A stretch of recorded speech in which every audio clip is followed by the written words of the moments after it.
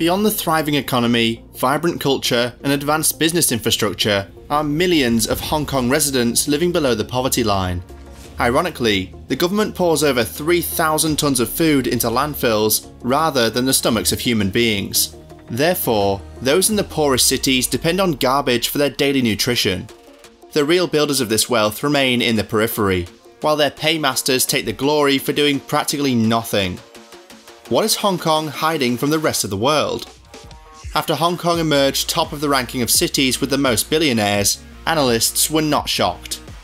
Of the 114 billionaires, 26 get the bulk of their fortune from real estate. The city also has over 434,000 multimillionaires, which is projected to increase by 11% by 2030. This is not fantastic news for people in the lower class, because this level of success is not predicated on mere hard work. It's reserved for a certain group of people who do not work themselves to death, yet have enough for themselves and their families. How did the city get to this point of no return? It began with gradually impoverishing the masses before escalating into a full blown deception. Here's how it all started. In the early days of Hong Kong's unrest, the political class blamed the uprising on the teaching of liberal studies. Societal dissatisfaction increased in 2019 and 2020 when residents flooded the streets to express their disgust at the city's imbalance and disproportionate concentration of wealth. Hong Kong has become more stratified, like most capitalist nations in recent years. By 2016, it was named the most inequitable metropolitan area in the world, Amid all that was happening, a certain social class remained unbothered. In fact, they became 44 times richer. Poverty became more localised in the 1980s, when the city transformed its economic structure from manufacturing into other non-manufacturing activities like finance and real estate. This switch was necessary due to the rise of industrial cities and states with similar economic structures. South Korea, Taiwan, Mexico, Brazil, and Singapore emerged top in manufacturing and edged out Hong Kong. To rescue its economy, the city diversified into watches, electronics, toys, etc. So the textile industry phased out. Unfortunately, workers in the manufacturing industries lost their livelihoods since they were unskilled. Sooner than these workers realised, wealth gradually accumulated in the finance, insurance, and real estate sectors. Despite being labour intensive, the labourers preferred their former jobs because they earned decent pay. Little or no intervention from the government is another reason for the widened gap between the rich and the poor. Since the government benefits from thriving businesses, it doesn't bother much about implementing certain policies. Over the years, various city leaders have promised to tackle poverty, but it ends like every other empty promise. When former Hong Kong Secretary for Labour and Welfare Law, Chi-kwong, announced the government's plan to increase the minimum wage to 37 Hong Kong dollars and 50 cents. The residents were not impressed. They noted the intervention was little, considering the city's post-intervention Gini coefficient was 0.473 in 2016. Also, the government's low social welfare expenditure and low income tax hampered its ability to redistribute wealth. Here's the thing, Hong Kong residents expect little from their government concerning bridging the gap between the rich and poor. Positive non-interventionism as an economic policy was signed into law in 1971. It states that it's damaging to the growth of an economy for the government to allocate resources available to the private sector and frustrate the operation of market forces. Note the key words in the policy, economy and private sector. This suggests the city is built to enrich the private sector, According to a survey by JobsDB, a career portal, about 75% of the employees that work overtime in the office receive no compensation. The amount of extra time ranges from 4 hours to 16 hours. Aside from working overtime at the office, 61% of workers work during their personal time. Most workers who go the extra mile say they do not want to upset their boss or colleagues. It is literally taboo for a subordinate to leave the office while the boss is still working. Experts say unhealthy work culture, unfair employer worker dynamics, and inadequate legislation allows this unfair practice to thrive. Lawmakers concerned about the workforce asked the government to regard illnesses triggered by long working hours as occupational diseases covered by the ordinance. When they are young, they have to sacrifice their family, sacrifice their health, uh, you know, uh, their well-being, their freedom, and they have to work for uh, 12 hours, 14 hours a day, uh, six days a week. And then, when we are old, we don't have any retirement benefit. So it's a shame. They also demanded that employers compensate their staff if found guilty. Again, the government comes in defence of the private sector.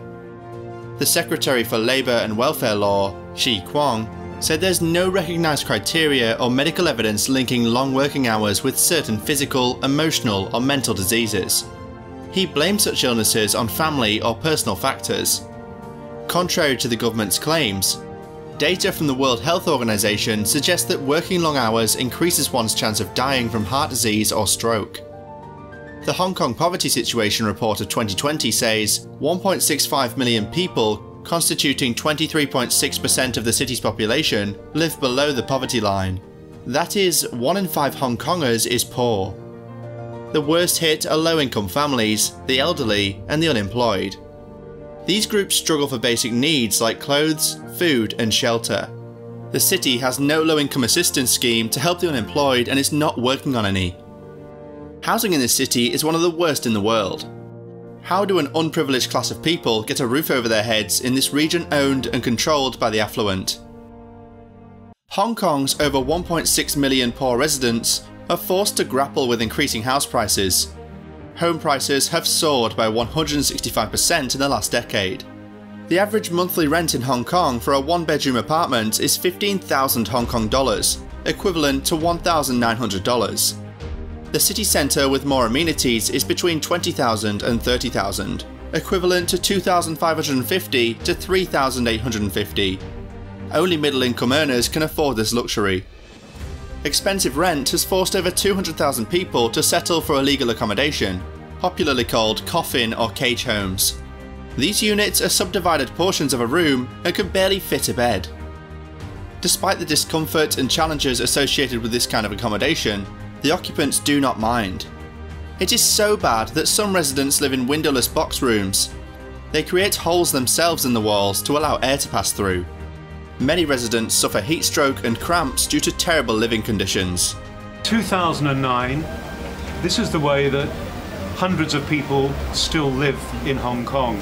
And those who are campaigning to eradicate these sorts of dwellings say they could be around for decades to come. In May 2022, public housing applicants reached 245,000, with an average wait time of 6.1 years. As the population grows, wait time also increases because the government is less enthusiastic than it claims to provide affordable homes for the poor. Further shortages suggest that wait times will increase in the future. In June 2022, China's cabinet level office in charge of the city urged Hong Kong's leader John Lee to address the city's housing problems. China's President Xi Jinping also lent his voice to the call for more recent housing. Hong Kong's leader, John Lee, responded that his government plans to build 30,000 larger and cheaper transitional homes in the next five years. This promise is the third for the housing sector. The first housing plan was the 100 billion Hong Kong dollar Northern Metropolis project aimed at housing 2.5 million people. The second project, called Lantau Tomorrow, planned to use 624 billion Hong Kong dollars to create 1,700 hectares of land off Lantau Island. Both projects face environmental, technical, and legal challenges, therefore are pending. So here's the deal. There's no chance in the world that the housing price will decrease in Hong Kong. The government pays lip service to the housing issue because it is the greatest beneficiary. The land that realtors develop is mostly controlled by the government, which leases them at outrageous rates, in 2022, two Chinese property barons paid a whopping $2.17 billion for a plot of residential land. This amount exceeds market valuations by nearly 50%. Because the city is tax friendly, it generates revenue from other sources. One such way is selling lands at high prices to make up for its tax losses. Therefore, realtors rent these houses at jaw dropping rates because they spend a fortune on land acquisition. With rental rates rising to unreachable heights, many have asked the government to implement rent control before things get out of hand. This policy sets a rent benchmark, so landlords do not increase prices randomly. Property investors argue that this would distort the economic incentives of investing in properties. the city has partly implemented the rent control law preventing landlords from increasing rent within two years and not hiking it over 10% afterwards. Months after this law was passed, the alliance monitoring the government's implementation of tenancy regulations of subdivided flat units reported that the authorities had only inspected 460 out of 120,000 subdivided flats in Hong Kong. Findings reveal that electricity and water charges are about the same as before the law was enacted. Some tenants say they even pay more. This goes to show how lax the government is in implementing its policies. Sadly, too, the city has unfriendly human rights laws targeted at the poor and vulnerable. Freedom is a luxury only the rich can afford, which further compounds the dilemma of the poor residents. Aside from deliberately impoverishing her citizens, this city does not welcome dissenting voices. Hong Kong used to be a hub of press freedom in Asia, but in 2022, it dropped to 148th, according to the Reporters Without Borders annual index on press freedom. This figure drop is almost 70 places in one year. This drop is thanks to the national security legislation imposed in 2020. Within two years, Next Digital, FactWire, Mad Dog Daily, Citizen News, and other media houses shut down because dozens of journalists were detained and their lives threatened. This clampdown resulted in the loss of over 1,000 media related jobs. This security law allegedly clamps down on terrorism, subversion, secession, and collaboration with foreign forces. Under this law, suspects can be taken to mainland China for trial in an unfair justice system. Those charged may not contact their families or lawyers. Worse still, they are tortured for months before anything is heard about them. During the 2015 lawyers' crackdown, Li Heping was beaten and drugged while in secret detention. Hong Kongers are more confused because the security law is vague. Most have shut down their social media accounts for fear of violating the law. Amnesty International says the government uses this national security law to justify harassment, prosecution, and arrests. Although Hong Kong blames Washington for the uprising in the city, this accusation might be a deliberate attempt to shift attention away from the core issues.